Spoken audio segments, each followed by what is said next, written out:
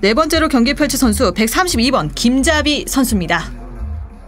네, 김자비 선수는 이 경기를 진행할 때 특유의 그 기합 소리가 아, 또 네, 굉장히 멋있, 멋있는데 넘칩니다. 네.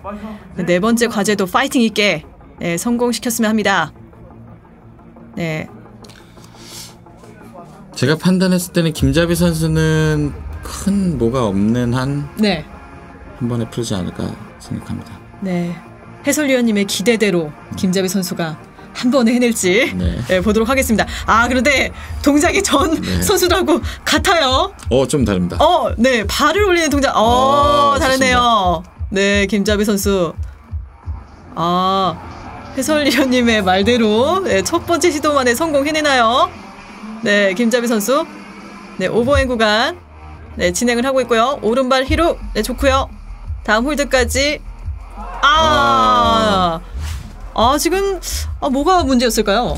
지금 본인이 가장 자신 있다라고 한 히룩을 건 동작에서 네. 히룩이 빠지는 그게 생겨서 네, 발이 빠지면서 자연스럽게 지점을 지지해 줄 수 있는 손이 네. 잡고 있던 게 없기 때문에 지지해 네. 줄수 있는 게 없어서 그대로 추락을 네, 한것 같습니다. 추락을 했군요.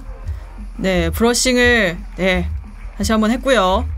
네, 김자비 선수 네, 침착하게 하면 됩니다. 아직까지는 시간이 있기 때문에 네, 첫 번째 스타트 네 마찬가지로 네 똑같이 진행을 했고요.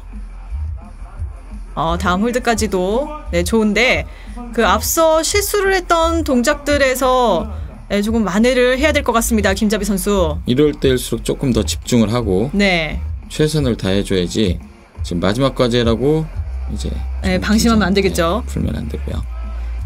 네, 완등 홀드. 네, 앞두고 있는 상황 김자비 선수. 네, 집중해야죠. 네. 아, 아. 성공했습니다. 네, 김자비 선수 두 번째 시도 만에 완등 성공했습니다. 김자비 선수는 좀 많이 아쉬울 것 같습니다.